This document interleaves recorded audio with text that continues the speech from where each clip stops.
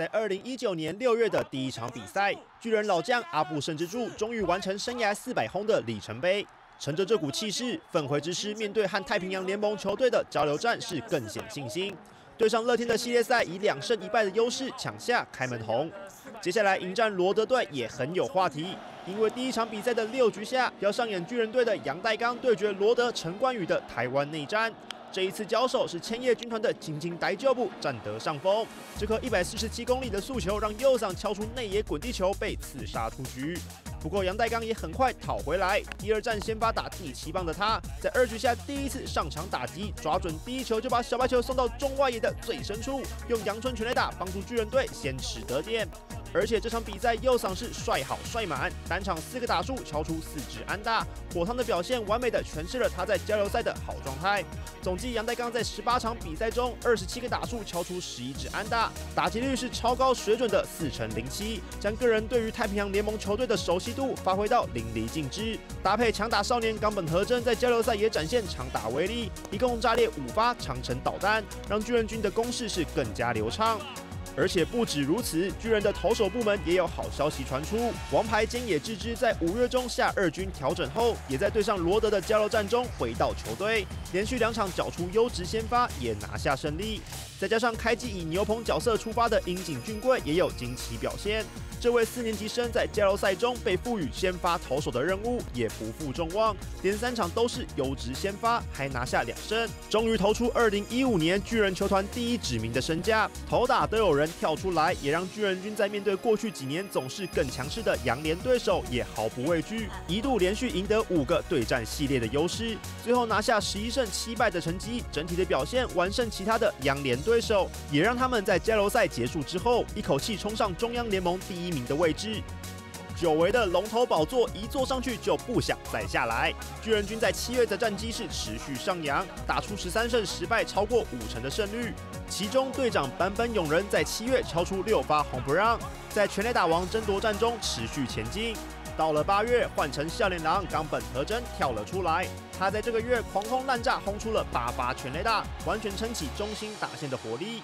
尽管到了八月初，巨人一度陷入单周只拿一胜的小低潮，但他们接下来完全展现了老牌劲旅的抗压性。到了八月中，包括横扫阪神虎在内，打出一波六连胜，让他们慢慢的拉开跟其他球队的差距。直到八月二十四号，在石川圣吾与九局下敲出石破天惊的代打再见全垒打之后，巨人军也正式点亮了蜂王的魔术数字 M 二十。队友的打击持续火烫，帮助巨人直冲排头。反观台湾国民打者杨代刚却是表现起伏，在先发机会不固定，常常以代打身份上场的情况之下，右嗓七月还能够维持三成以上的打击率，但到了八月手感却直线降温。还一度连续四次代打出场都没能够敲出安打，单月打击率是不理想的一成三六，也让他更难夺回先发的位置。杨代刚没能把握机会，至于跟他在二零一七年同样以自由球员身份加盟球队的投手山口俊，却上演大复活的戏码。这位前横滨队的强投加入巨人之后，一度卷入场外斗殴的事件纷扰，导致前两年的表现不尽理想。但到了二零一九年，他找回状态，球季中一度拿下八连胜，最终整季十五胜四败，防御率二点九一，成为球队在菅野之之状态不稳时的另一王牌。无论投手跟打击，先发或替补，巨人军都有人手跳出，也让他们在九月最后的争冠时期顶住压力，在九月底对上横滨的系列赛中顺利封王，拿下队史第三十七座中央联盟冠军。而眼看球队是重返巅峰，巨人的精神领袖阿布胜之助也选择在这时功成身退。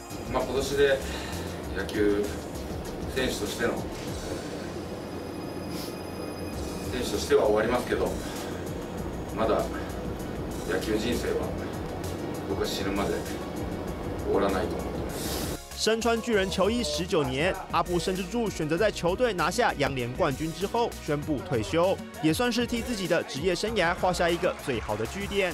但这个据点还有更璀璨的可能。在九月二十七号，巨人本季在东京主场巨蛋的最终战，阿布甚至柱穿上了全套的捕手护具，在职业生涯的最后一场例行赛，以先发捕手第四棒的身份登场。而对手横滨也很够意思，上了场就是真枪实弹的对决。神力合一，发动快腿挑战阿布，成功倒上二垒，但这并不影响阿布甚至柱的好心情。到了二局上，巨人特别安排了他在全盛时期的投手搭档泽村拓一中继上场。在老战友的陪伴之下，阿布也完成今天的蹲捕任务，留在场上担任一垒手。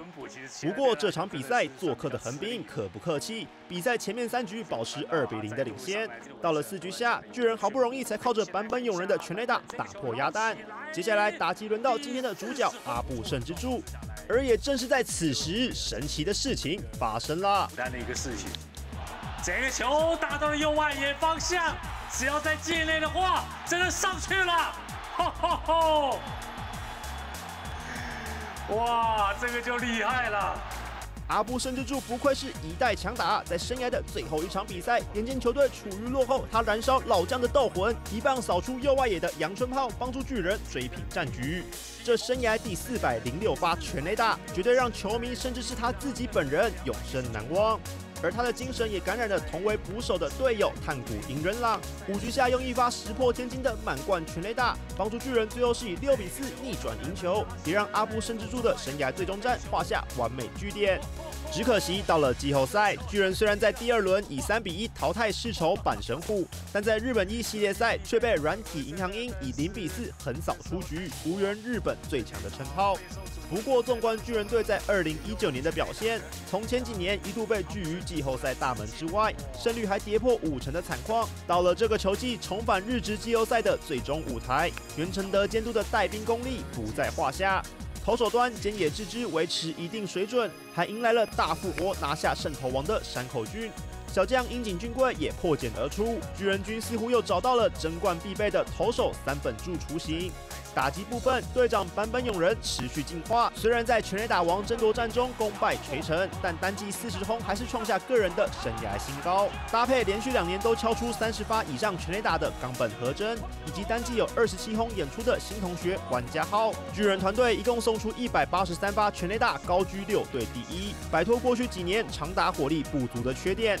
台湾好手杨代刚就比较可惜，尽管整季打击率两成七四已经是加盟巨人三年的最佳成绩，但单季四发全垒打的长打表现是持续探底。在始终得不到教练团信任的情况之下，杨代刚在这个赛季最后只获得两百零八个打数，是二零一零年之后的最少数字。在接下来新球季开打之前，杨代刚势必要拿出更好的表现，才能够重新获得教练团关爱的眼光。